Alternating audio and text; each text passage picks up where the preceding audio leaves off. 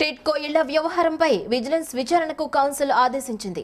ఇళ్ళ కేటాయింపు అంశంపై సమావేశంలో పాలక విపక్ష సభ్యుల మధ్య తీవ్ర వాగ్యుద్ధం జరిగింది. పరస్పరం ఆరోపణలతో సభ వాడివేడిగా సాగింది. అలాగే నగరపాలక సంస్థ సిబ్బందితో పాటు కార్పొరేటర్లకు కూడా కోవిడ్ లక్షణాలు బయటపడడంతో కౌన్సిల్ను తక్కువ సమయంలో ముగించామని దేవాదాయ శాఖ మంత్రి వెల్లంపల్లి శ్రీనివాస్ తెలిపారు. టిడ్కో ఇళ్ళ కేటాయింపు అంశంపై కౌన్సిల్ సమావేశంలో చర్చ వాడివేడిగా సాగింది. ప్రశ్నోత్తరాల సమయంలో పదమూడవ డివిజన్ కార్పొరేటర్ ముమ్మునేని ప్రసాద్ టిట్కో ఇళ్ళ లబ్ధిదారులకు ఇళ్ళు ఎందుకు కేటాయించలేదని లబ్ధిదారులు చెల్లించాల్సిన సొమ్ము ఎంతో తెలపాలంటూ అడిగిన ప్రశ్నకు ఉప ప్రశ్నలుగా పాలక విపక్ష సభ్యులు ప్రశ్నోత్తరాలు సంధించారు. ఇళ్ళ కేటాయింపులో గత ప్రభుత్వం వైఫల్యం చెందిందంటూ పాలకపక్ష సభ్యులు విమర్శలు గుప్పించడంతో టీడీపీ సభ్యులు అందుకు ధీటుగా ప్రతి విమర్శలకు దిగారు. అధికారంలోకి వచ్చి రెండేళ్ళైనా నిర్మించిన ఇళ్ళను కూడా లబ్ధిదారులకు కేటాయించలేని దుస్థితిలో వైసీపీ ప్రభుత్వం ఉందంటూ టీడీపీ సభ్యులు విమర్శించారు. దీంతో సభలో కొద్దిసేపు గందరగోళం నెలకొంది. దాదాపు ముప్పై తొమ్మిది కోట్ల రూపాయల మేర ప్రజల నుంచి వసూలు చేసి ఇళ్ళు కేటాయించకపోవడాన్ని పాలకపక్ష సభ్యులు తప్పుపట్టారు. సమావేశంలో పాల్గొన్న దేవాదాయ శాఖ మంత్రి వెల్లంపల్లి శ్రీనివాస్ వైసీపీ సెంట్రల్ ఎమ్మెల్యే మల్లాది విష్ణు సైతం గత ప్రభుత్వం తప్పిదం వల్లే లబ్ధిదారులకు ఇళ్ళు అందలేదని ధ్వజమెత్తారు. టిట్కో ఇళ్ళ అంశంపై విజిలెన్స్ దర్యాప్తునకు ఆదేశిస్తూ కౌన్సిల్ తీర్మానించిందని మంత్రి వెల్లంపల్లి శ్రీనివాస్ మేయర్ రాయన భాగ్యలక్ష్మి తెలిపారు. విజయవాడ నగరపాలక సంస్థ మొదటి కౌన్సిల్ సమావేశం నిర్వహించడం జరిగింది. ఏదైతే రాష్ట్ర వ్యాప్తంగా కోవిడ్ ప్రాబ్లం ఉందో కోవిడ్ నిబంధనలకి ఎక్కడ ఇబ్బంది లేకుండా పూర్తిగా కూడా సభను కుదించి ఏదైతే కార్పొరేషన్కి ఇంపార్టెంట్ ఇష్యూస్ ఉన్నాయో వాటిని ఈరోజు కౌన్సిల్లో పెట్టడం జరిగింది. ముఖ్యంగా గత ప్రభుత్వంలో చంద్రబాబు ప్రభుత్వంలో సుమారు పన్నెండు వేల మంది లబ్ధిదారుల దగ్గర ఇల్లు కట్టిస్తామని చెప్పని డబ్బులు వసూలు చేసి అటు ప్రజాప్రతినిధులు దోచుకోవడం కానివ్వండి అదేవిధంగా ఆరు వేల ఇళ్ళకి స్థలం కేటాయించి పన్నెండు వేల రూపాయలు పన్నెండు వేల ఇళ్ళకి డబ్బు వసూలు చేసిన దాని మీద కూడా ఏదైతే తెలుగుదేశం ప్రభుత్వం చేసిన అన్యాయం మీద ఈరోజు కౌన్సిల్ ఏక ఈరోజు మన విజిలెన్స్కి స్టేట్ విజిలెన్స్కి దాన్ని విచారణ జరిపించడానికి ఈరోజు కౌన్సిల్ ఆమోదించడం జరిగింది. ఏదైతే గత చంద్రబాబు హయాంలో జరిగిన అవినీతి మీద విజిలెన్స్ ఎంక్వైరీకి ఆదేశాలు జారీ చేయడం జరిగింది. అదేవిధంగా రెండు వందల డెబ్బై ఏడు ఎజెండాలు పెట్టడం జరిగింది. వాటిలో ఇంపార్టెంట్ ఇష్యూస్ వరకు ఆమోదించి మిగతా అన్నీ కూడా ఏదైతే మున్సిపల్ కార్పొరేషన్ ఆఫీసు రిమార్క్స్ కానివ్వండి వాయిదా వేయడం కానీ జరగడం జరిగింది. అదేవిధంగా ప్రశ్నలు ఇరవై ఆరు వచ్చినాయి. దాంట్లో గంట సేపు టైం ఉంటుంది కాబట్టి టైం వరకు చర్చించుకొని మిగతా అన్నీ కూడా వాళ్ళకి పేపర్ రూపంగా ఇవ్వడం జరుగుతుంది. ఎందుకంటే ఇక్కడ సిపిఎం నుంచి ఒక పార్టీ కార్పొరేటర్ ఉన్నారు. తెలుగుదేశం నుంచి పద్నాలుగు మంది కార్పొరేటర్లు ఉన్నారు. వీటిలో ఇప్పుడు సుమారు విజయవాడలో నగరపాలక సంస్థలో కార్పొరేటర్లు ఆరుగురు వరకు సుమారు కోవిడ్ పాజిటివ్ వచ్చింది.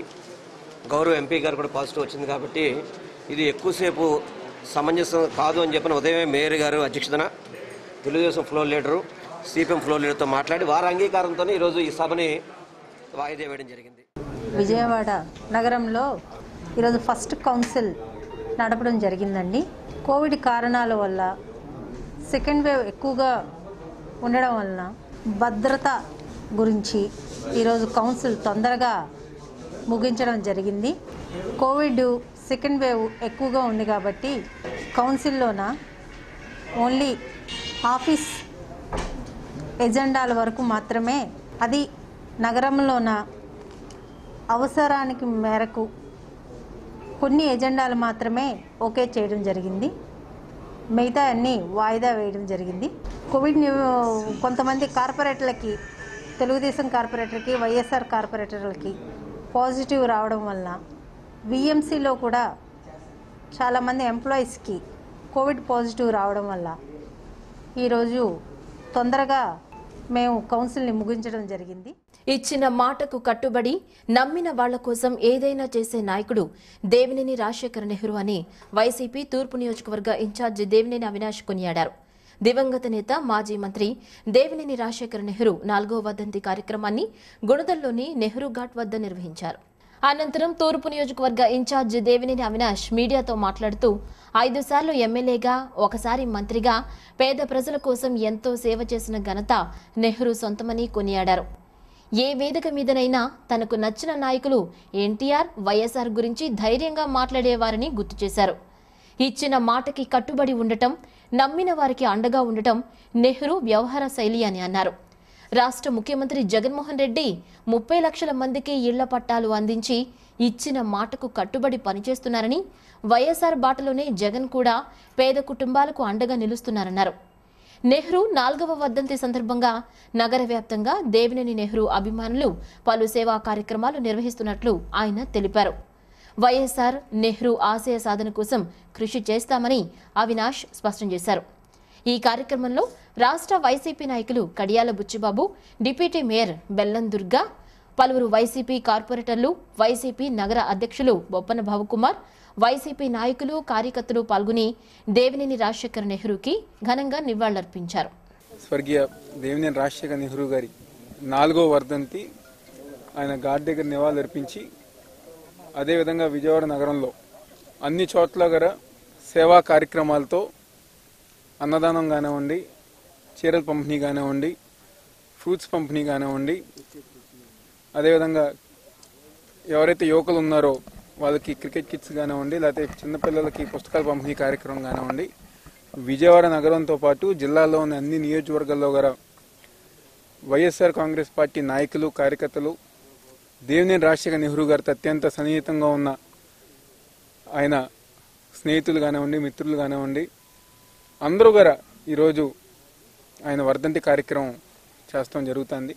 ఏదైతే దేవినేని రాజశేఖర నెహ్రూ గారు దాదాపుగా ఈ జిల్లాలో ఐదు సార్లు శాసనసభ్యుడిగా ఉండి మంత్రిగా పనిచేసి ఈరోజు అందరికి గర ముఖ్యంగా నగరంలో కానివ్వండి లేకపోతే ఈ జిల్లాలో పార్టీలకు అతీతంగా ఆయనకంటూ ఒక క్యారియర్ కానివ్వండి లేకపోతే ఆయనకంటూ ఒక మనిషిని ఏర్పాటు చేసుకుని. విద్యార్థులు ఆనాడు విద్యార్థి సమస్యల్లో ఉన్నప్పుడు యునైటెడ్ స్టూడెంట్స్ ఆర్గనైజేషన్ ఏర్పాటు చేసి విద్యార్థులు ఒక సమస్య కోసం పోరాటం చేసి దాని తర్వాత రాజకీయాల్లోకి వచ్చి. ఈరోజు ఆయన చనిపోయేంత వరకు గర నచ్చిన నాయకులు ఎవరనేది ఏ వేదిక మీరైనా నందమూరి తారక రామారావు వైఎస్ రాజశేఖర రెడ్డి గారు నాకు అత్యంత ఇష్టమైన నాయకులు ఆ నాయకులు అనుగుణంగా నేను కానివ్వండి మా వాళ్ళందరం గారు పనిచేస్తారని చెప్పిన ధైర్యంగా చెప్పిన నాయకులు గారు ఉన్నారంటే అది కేవలం నెహ్రూ గారు.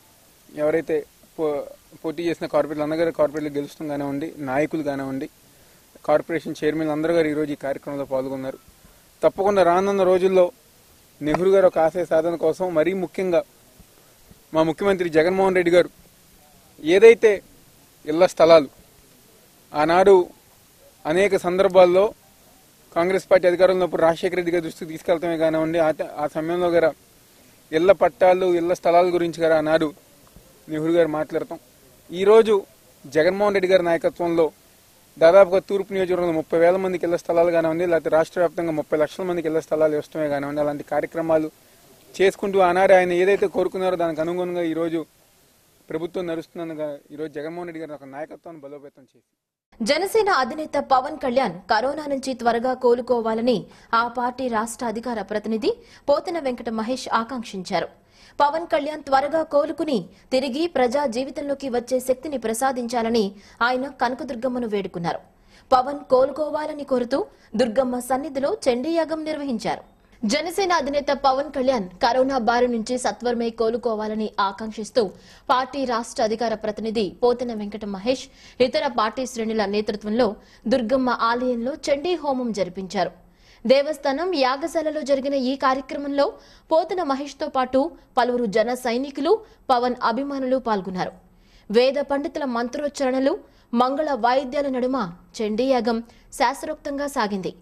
అనంతరం పోతన మహేష్ మాట్లాడుతూ కరోనా బారి నుంచి పవన్ కళ్యాణ్ త్వరగా కోలుకుని ప్రజా జీవితంలోకి రావాలని ఆకాంక్షిస్తూ ఈ చండీ యాగాన్ని నిర్వహించినట్లు తెలిపారు.